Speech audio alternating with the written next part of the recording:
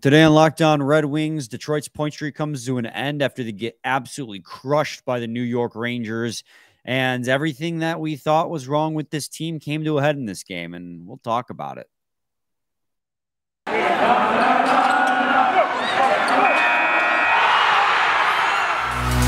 Your Locked On Red Wings, your daily podcast on the Detroit Red Wings, part of the Locked On Podcast Network, your team every day.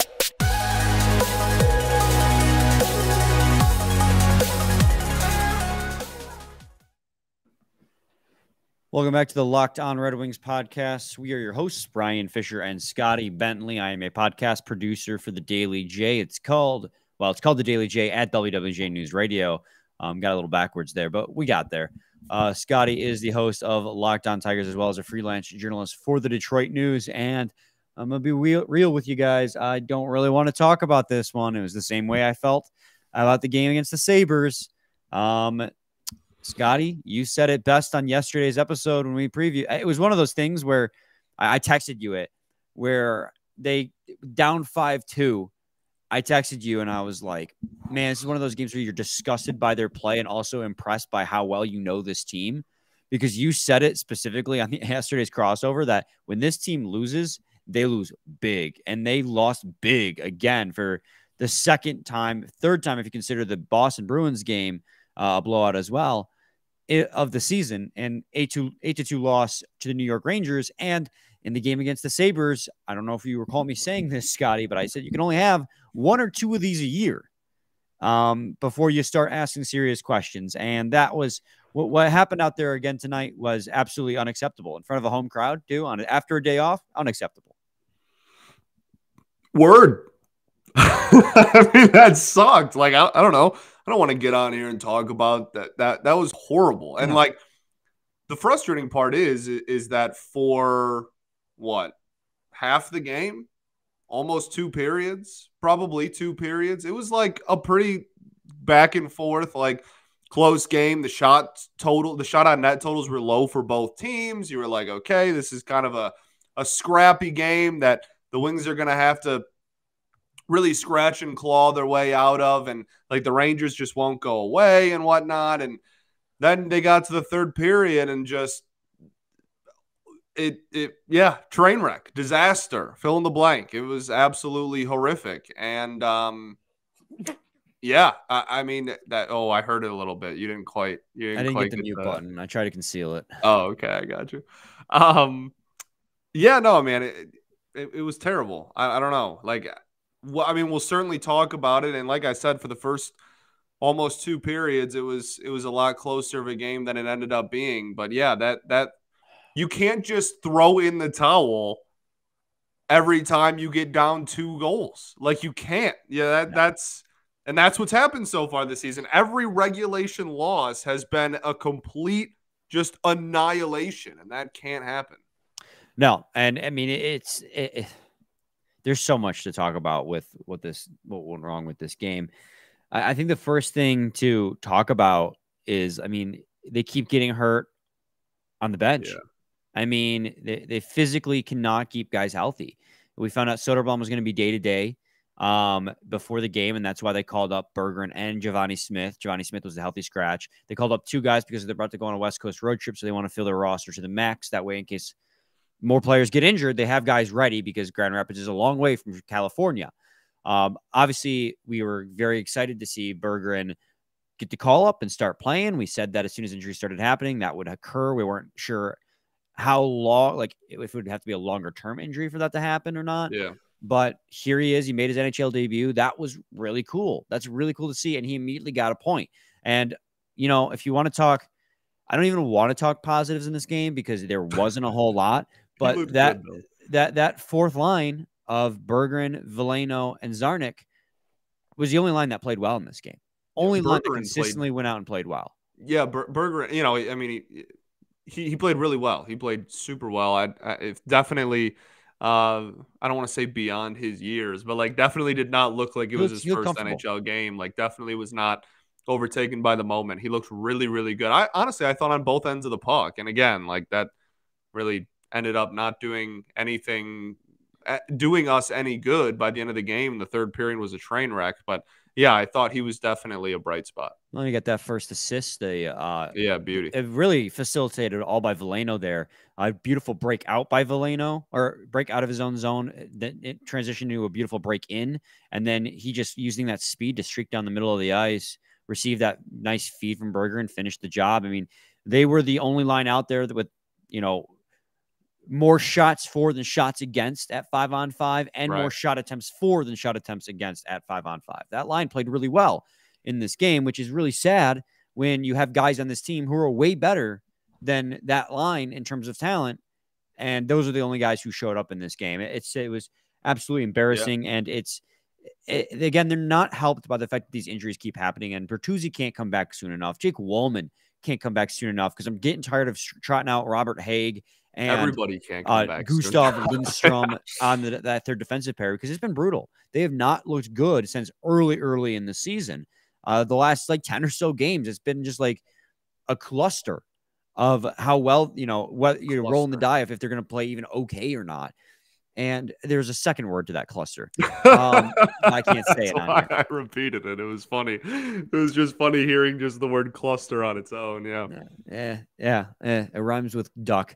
Um, who they'll be playing on the West Coast road trip. Anyway, there you go. Um, just, I'm so like when they, they lost to the Sabres, I got like yelling mad.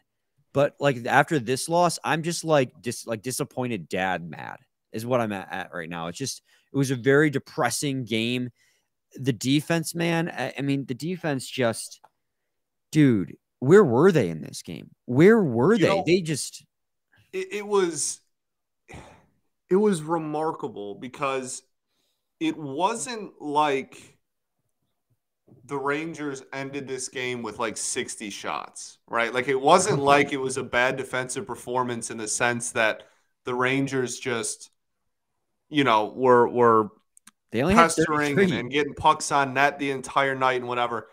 But the shots that this is like the prime example of like shots on net don't tell the whole story is this game because the shots that they did get were the most prime and high danger scoring opportunities I think I've ever seen a team consistently get one after another after another after another.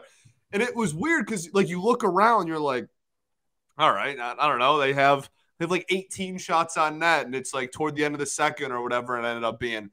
And I swear, every single opportunity, however, was a legitimate high danger scoring threat, and that mm. it was abysmal. Everyone, top to bottom, it, ev- everyone, it was terrible missed assignments and puck watching absolutely puck watching, sank dude. this team. Oh my goodness! In this game the the amount of times I saw that puck in the corner and all five players on the ice were just staring at that puck in the corner and not watching for that guy in front. And just the amount of times too. And like Seider and Chiarot had another rough game as a pair. And I don't know if you maybe need to break up that pairing.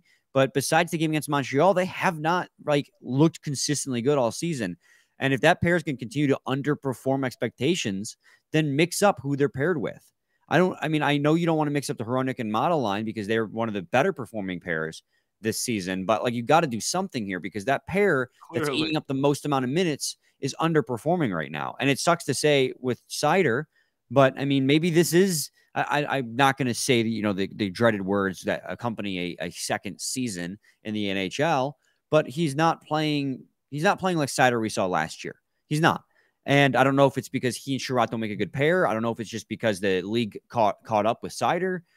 But you know, it goes with Chiarot too. I mean, he's all over the place, but not really making plays happen when he does get over there. Uh, it's just yeah. defensively, the amount of times I saw both defensemen off to either side of the net while there was a blue shirt in the slot with no one covering, just wide open to bury the puck was or get a prime scoring chance. So the like, amount of rebounds that came out that they could not clear away from the front of the goalie. Preach. No, it, I mean it was terrible. So I well get to the ad because I I wanna I wanna I'm gonna rift, and I don't want to have our first ad break at like 13 minutes. Fair. Got to talk to you guys today about Bet Online. BetOnline.net is your number one source for sp- sports betting info, stats, news, and analysis.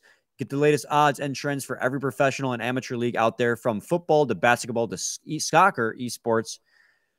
We've got it all at betonline.net. And if you love sports podcasts, you can find those at BetOnline as well. We're always the fastest and easiest way to get your betting fix. Head to the website today or use your mobile device to learn more.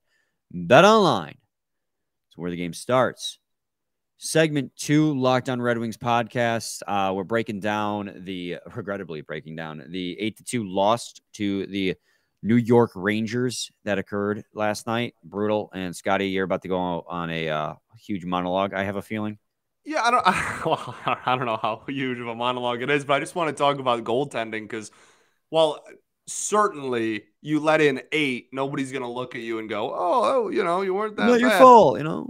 But the, it cannot be stressed enough how brutal the defense was. The last like five goals given up was just abysmal defensively. Like getting the puck right in front of the net over and over and over again. Like you said, no Red Wings players in front of the net to combat anything. Um, I mean, the you know was it the last seventh or eighth goal? One of them was you know deflected by by a wing, like redirected by a Red Wing. like I mean, it was it was just he could not catch a break, and he wasn't getting peppered. Like he he wasn't getting again like 40 50 shots on net or anything ridiculous. It was just every single shot he had to go up against was high danger. And so yeah it's it just it's one of those games where it just sucked all around. And and i i don't know. I, people were talking a lot of stuff about ned in, in the games that got away from us when he was in net and now it's happened to Husso and like, is it going to be a same energy thing? Is it going to be uh, the defense hasn't been good really consistently for either of them, which is probably true. Um, I don't know, man. I mean, this I'm just really tired of every time we lose in regulation, it's just uncompetitive and by four and five and six. Like I, I would like to to uh, well, I'd like to win, but like if we're I, I would like to have not just these derailing like completely momentum stopping just you know if you're gonna if you're gonna continue to lose games by six goals on a semi-consistent basis you're gonna have the second half of last season when we were what? Four six mm. game points and, rather out of the postseason and then we turned around and a month later we we, we weren't even relatively close. And i know boston had games on hand on us too and that's that's a little bit different but still like you're just gonna spiral and you you can't you can't like you literally can't afford to just continuously lose by four plus in regulation every time you lose. You and then at what point, like, too, did like what's the point of having fired Jeff Blashill? Like that was one of the main reasons is that right. the wheels fell off and you started losing big games, or not big games, but losing games by big amounts. Losing games big, right? Yeah, losing games big. And so you know, what's the, you know, what's the difference if this is going to continue to happen? And obviously, like, we're coming off a hot streak. Red Wings won three in a row, lost in a shootout, had a four game point streak. And then they come and drop an egg like this. And that, that egg is, it's just, it's like you said, Scotty, is if this was like a 2 1 loss, we'd be talking differently. It'd be like, okay, well, they fought hard and they kept it close. You know, no moral victories. This the expectations have shifted. You want to at least like well because the game was game. so different for the first two periods, and not yeah. that well, well not re- not really defensively, but offensively, it, it, was different in the sense that they were capitalizing on opportunities. But even really the entire game, like something that you pointed out, I think, in yesterday's show, this team cannot stay in the opponent's zone and have like a consistent possession where they're getting multiple shots all in the zone and the puck doesn't leave the opponent's zone for like more Both than their goals. 20 seconds. Like it's like it, it's it's all the rush, it's all f- like one man breaks or it's all special teams. Like there's the, no 5 on 5 consistent pressure at all. And that the, again, you cannot maintain that. And I know like this is this is right after the game and and we've said it after the last couple like if they go out and win the next 3 or 4 then like it's going to change tune, but but we we at some point, we can't just keep saying, oh, well, if they do the same thing they did in the last blowout this time, it'll be okay again and they'll recover. Like, no, you, you can't keep doing this. Yeah, I mean the the first goal they scored from Joe Veleno was a beautiful play, but it was off the rush. The second yeah. goal was on a dump and chase that Igor Shesterkin misplayed. I mean, you got to at some point learn how to play five on five hockey and establish everything we talked about. And I said I felt bad saying it after I said it at the start of yesterday's episode because the Red Wings were playing well in that stretch. And here I come on this podcast, this crossover, and being like, well, I don't want to get get away with my excitement and talk about like how much I love, you know, what they're doing because I can see the cracks. And I felt bad mentioning that the cracks are there, you know. And then right. they come out and they prove everything we both talked about, what was wrong with this team, right in this game. And that's just, it's a really crappy feeling like I'm not happy about the fact that we were right about there being them being horrible at five on five. I'm I'd rather not be wrong and have a good sports team to root right. for for the first I'd rather be wrong and watch the a team decade. Be competitive. Yeah, and so I mean they're winning games, and I said it in yesterday's episode, but they win games off good goaltending and good special teams. And I know that the special teams for the power players ranked and converting on the rush, right? Yeah. Which is all things yeah. that vary dramatically on a game to game basis, and that it's very hard to be consistent yeah. in all of those areas for 82 games, like nearly you, impossible. So it, it, it's far from, you know, like again, this is one game, like at the end of the day, and it's far from from making any like change of direction or any presumptions about the remainder of the season.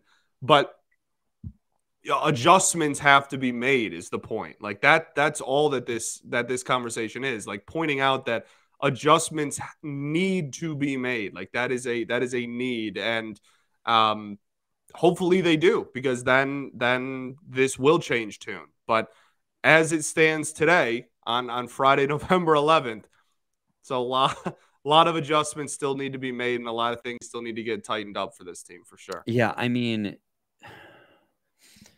The thing that just drives me nuts is let's talk to about Lalonde's culpability in this as well because we didn't really bring this up on the game where the Sabres blew out the Red Wings. But why is he not throwing a life preserver to his goaltenders after like the fifth or sixth goal when you see the games getting out of hand? Like, does he not remember that? And I'm not like trying to get on here and be like, you know, fire alone. But, you know, as a head coach, you don't just because you're a first year head coach and there's a honeymoon period, you know, the honeymoon period is going to run out really fast if you keep getting blown out like this. And you have culpability in the fact that you're not changing your goaltenders. Throw him a freaking life preserver, get him a, out of the net, and get a different goalie in there to finish the game because you're going to ruin your goalie's confidence if you're going to keep him in there like that. Like you've let both Nedeljkovic and Husso play 60 minute games where they let up eight goals. That's unacceptable. You can't do that as a head coach. Also, as a Twitter user pointed out to me, why not call a timeout? Why not say, okay, we're down 4 2. We just gave up two goals in like a minute and a half. Now we're down 4 2, but there's still plenty of third period left. Let's call a timeout and regroup. Never did that either. At what point do we also hold? Because it's not just on the players, and I understand injuries are a huge issue, but at what point do we hold our coaching staff culpable for these big losses as well? Because the team plays poorly, but they're also running the routes and running the schemes that the head coach gives them. Well, yeah, and and like the team's over 500. like like it's it's one game, but it's just that you can't But this game these games speak a lot. No, I agree. I, I completely agree. I, I I'm agreeing with everything you're saying. It, it's just it's uh I am having a hard time wrapping my head around it because there's a lot of thoughts swirling right now. right, because they, they are winning games. Like they're winning hockey games, but when they lose, they get pumped. Like I, I don't know. I, I I I agree with everything you said, and and I think that it is it's very important to see how they rebound. Like, and I don't want to keep regurgitating that every time we lose by five, which has happened already way too often this season. But like that, I mean that like that's where we're at. I, I don't know. I don't know. I like I, I don't know where else to, to go except like, well, you know, there, there's only one way to go and it's it's up a little bit, hopefully. Well, I like I, I don't want to the Lalonde thing is frustrating because like you got to be able to do those things and against your rookie head coach and like you got to trust the process. It's a new scheme and you're waiting for things that to like develop and the team to find its identity and stuff like that. So like while I'm very angry and upset and like I said, disappointed dad energy right now and how this team performed, you know, keep in mind the last time they got blown out like this, then they responded with a 3 0 1 streak. A three game winning streak turned into a four game point streak. And that was right. a great response. But then to follow that up with another, like, I don't want this to be the trend. I don't want four game point streak to then be a huge blowout. I mean, I'm sure there are people who will be like, I'll take one blowout every five games if it means that we get no, um, I mean, if you're seven of eight in the process. Between, sure, but I think the point is like, I I'm not sure it's possible for over an 82 game season to consistently get crushed, destroyed, and then bounce back and like just yeah. you know win the next three or four or whatever. Like I, I don't I don't think that's really viable. And you know, like it's early November. Like I, I think I think it's uh that's a much different conversation as the season goes on. You can't keep afford you can't afford to keep having these happen. No, and then like the reason why I'm so concerned after this loss after just like this one loss after they come off a punch streak is because, like I said a couple minutes ago, these losses, these big blowout losses, speak way louder than a close 2 1 loss does. Like the loss against the Montreal Canadiens, you know, you saw a lot of good things in that game. You can take good things away. You can't take a lot of good things away from this game. In fact, when you see a loss like this, and you see this is the second time it's happened, and they played very similarly in this game to then how they lost to the Buffalo Sabres, who were hot at the time, you're going, this is a bigger issue and you see what they're doing well and how they're winning games and they're winning games off like what you said are inconsistencies and by inconsistencies i mean like you're not always going to be able to score off the rush that's not something you can that's not something you can like jot you down you know eh, you, into you on a night to night basis correct that's something that just happens on the fly you right. can't rely on your power play and penalty kill to win you every single game. John Chick said yesterday is that the power Rangers made such a deep run because of their power play, but they lacked five on five skills, and that's what cost them you know, the things that matter, the team isn't doing well. And the things that they are winning the games with are things you can't do on a consistent basis. You can't plan out. And that's why I'm, that's why there is a level of worry that I have in this season, despite the fact that they're playing well. But this is also why I've made sure to keep my reality in check for this season. And while it's nice the fact that they're play they're playing so well and off to a hot start, this you know game um, save this game you know, I do remember like this isn't a playoff team. And I recognize this isn't a playoff team. The, they'll probably, hopefully, compete for a wild card team down the way. But with this, how competitive this division is, we were looking for this to be an improvement year. You know, getting into like the 85 point range is an improvement, but not a playoff team. And that's where I, my season prediction was at the beginning, and that's where it is now. And, you know, losses like this just reaffirm, like, yeah, that's probably where this team's going to be at. Yeah. Word. When we come back, we'll talk about the West Coast road trip, namely the first of the game, first of what the three or four game road trip that is going to be. Yeah. The, starting with the LA Kings on Saturday. We'll preview that one for you guys when we come back. Locked On Red Wings. Segment three, locked on Red Wings. Uh, we are going to move on away from that game that totally didn't happen last night and uh, talk about the Los Angeles Kings. Last time you uh, these two teams came out the Red Wings lost in overtime, five to four, off the back of Dylan Larkin stealing a point on an amazing hustle play. Sundqvist scoring the game tying goal. So you're going on the West Coast. Uh, this is your first real road trip of the year, Scotty, because most of their road games have been followed, preceded by, and then su- succeeded by a home game. Right. Uh, immediately following.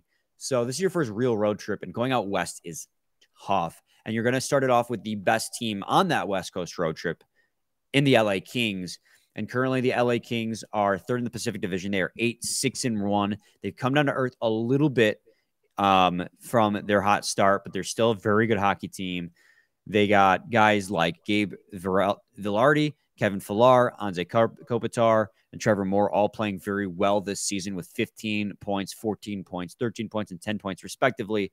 But their big weakness right now is in their goaltending, with both of their goaltenders having a sub 900 save percentage, and uh, Jonathan Quick having an 896, and Calvin Petersen having an 872. Is this a game at the Staples Center you think, Scotty, could be a bounce back game for the Red Wings? I mean, yeah, like uh, that that's I think that adds to the frustration with this team is like in the second half of last season, you were just like, all right, every game is gonna be this six, seven, eight goals against. and like it's frustrating because this team, A, has expectations somewhat for the first time in a while, but B, you see on the nights they don't lose by six, you see them put together, you know, like we talked about um in the not obviously tonight, but the last Rangers game, like one of the better defensive performances of the season, like they show flashes and they lack consistency. And I think that's the overall point of the entire first two segments is like we we are trying to when you want to take that next step, that next step involves being consistent uh, over a full season. And so yeah, I think that uh, really any game is is a viable bounce back. And like we stole a point for sure, absolutely stole a point from them last time, but still like even even if they had dropped it, that's still a one goal loss to a playoff team, and it was a really competitive hockey game for the most part. Um, so yeah, I, I think that like it absolutely could, and like you have a team that struggles uh, with they struggling in net and the Wings are a team that can kind of score without having a ton of shots on net. Um, I don't know. Like, yeah, absolutely. But inconsistency. So, like, who knows? well, I mean, like, thankfully, the Kings' weaknesses play into your strengths in that their power Correct. play is ranked 25th in the league and their penalty kill is ranked 27th in the league. Um, so you know, I think actually I might be wrong and. I think it might be 22nd is where they're at. 21st in the league is their penalty kill. Um, so I mean, granted, your power play didn't convert tonight. It looked horrible. It looked bad in the game against the um, Montreal Canadiens when you had like seven power plays. Obviously, before that, it looked pretty solid, middle of the league. Teams may have just figured out your power play because it wasn't anything like new and inventive. You just passed the puck a lot and you passed it really well. And now teams are figuring out that you pass that puck between two or three guys, they're going to block those passing lanes. So, I mean, right. you could just be figured out. The power play might not be a strength until they're able to reinvigorate it for a little bit while. And then the penalty score got scored on. So I don't even know if I can call these strengths and weaknesses anymore, Scotty. I'm so down bad after that loss to the Rangers. Well, no, uh, again, like the reason why is because it's it is inconsistent. Everything yeah. is inconsistent. It'll be good for three or four games, and it'll be terrible for three or four games. And like we we saw a brutal stretch. What was that? Two, three weeks ago now. We saw a brutal stretch where they lost several in a row and were getting kind of blown off the ice in almost every game. And then we saw uh, two we've had this season, like really good stretches. The one to start the year, and then the one before right that ended tonight. Like there, I don't know. Like it's it's it's frustrating because of the inconsistencies. And you're right. Like it's hard pinpointing strengths and weaknesses when some nights your strengths are your weaknesses and some nights your weaknesses are your strengths randomly. So yeah. It's just gonna be it's gonna be tough, man. It's just really tough for me to preview this game in particular because the you know the Kings are a good team. I don't know, man. I, I'm very down bad, as they would say right now, as the kids would say. I'm down bad. Um, so it's hard for me to like feel good about this game coming up on Saturday, especially a West Coast game where they're going to be jet lagged. It's it's it's going to be, you know, well, I'd like to think that they're going to be pissed off and they respond, but they're they're so beat up depth wise, and we that was one of the things that we were complimenting is that yeah. you know their depth has come up big, and obviously they scored a goal in this game against the Rangers, but that depth is thinning. You know, injury after injury after injury, like that depth was going strong when there was like two or three guys injured, but now you're up to like six or seven and now you're calling well, up Givani Smith. depth players are now getting injured.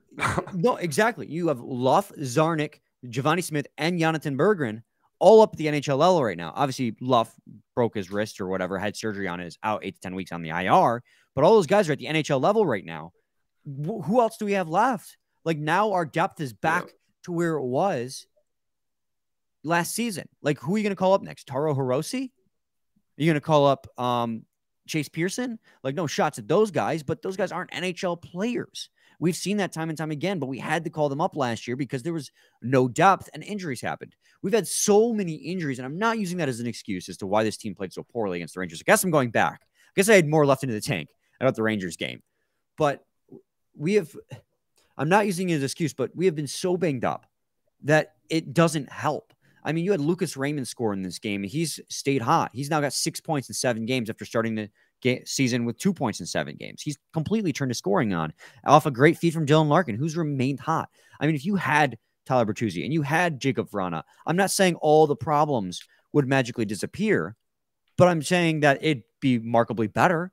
I mean, our depth is just so hit right now. And it's, I, I credit to the depth for playing as well as it has and getting the Red Wings through this tough stretch for as long as they have. But now our depth depth is getting hurt. And I just, Right. it's hard for me after a Right. big loss, knowing this team is still beat up. And I know Bertuzzi is going to be back any day to think about this game against the Los Angeles Kings and go, bounce back game, baby. Let's go. It's just, man, it's going to be tough. And, you know, if they bounce back and they play well and they win, that's just a testament to their commitment to Derek Lalonde's system and how uh, and Derek Lalonde for get, motivating that team to bounce back. That's a testament to that. Well- but that's if they bounce back. Well, yeah, and, and the thing is, it's a the the Kings game is a huge game because if you win the Kings game, you can start a stretch because then you get the Ducks, who you've already crushed Killed, yeah. once, right? Like if it if you kick off the road trip with a win against the Kings, you could push yourself back into another hot stretch and get another another uh, you know four points in two games or three points in two games and and start another hot stretch, which is obviously what you need after these kind of losses, but it's just really frustrating when every loss just like sucks everything out of you. Like that's it's it's really demoralizing. Yeah, it's super demoralizing. And I mean, I, I got to imagine Nedeljkovic is going to start this one, give Husso the day off to get his head right. Um, Yeah. I, I mean, I don't think we're at a point yet with our goaltending where you go back to Husso after a game like this just because he's your starter. I mean, you said it yesterday. It's a 1A, 1B situation where you kind of ride the hot hand and risk, It's Husso the got Sharks killed. after that too. Yeah, like you could so- sweep the West Coast if you win in LA. It's it's literally Kings, Ducks, Sharks, and then you come back to Columbus. Like you could start a a legitimate. I mean, after the Kings, you play three of the worst teams in hockey. Like like straight up. Like you Yeah. you could absolutely if you take care of business against the Kings and start off strong, you could really carry that momentum and, and find yourself back at another win streak. So in, important to start the road trip off right, I think. over under six. Well, we both took the under in this last game and we got Rangers themselves. And I said, I was like, oh, we all took the under, so naturally the over will hit, which I'm still wrong about, obviously, but just funny because that's how it always ends up working. Uh, I'll take the under in this game against the the Kings. You're going to talk all of that about getting blown out and how you're not feeling good about it, and I take the under. Well, because I don't think they'll get blown out in two straight games. If they get blown out in two straight games, we're gonna have to have a real, real conversation on Monday. fair enough. Fair enough. Uh, I'll take the over. Safe play. I just take the under because the Red Wings scoring hasn't been there. They haven't scored more than three goals since the Ducks game, or maybe they score three against the Sabres? They, but they haven't scored more than three goals. Right, more than game, three. which I'm is trying to think. Yeah, that's two tough. two weeks ago now. It's tough. Yeah, that's real tough. Um, yeah, we'll uh, be back on Monday, guys. Hoping hoping for a win. Uh, we need we need to be cheered up after that um, demoralizing loss, the New York Rangers. So we'll be back then, same time, same place. BetOnline It's your team every day. every day.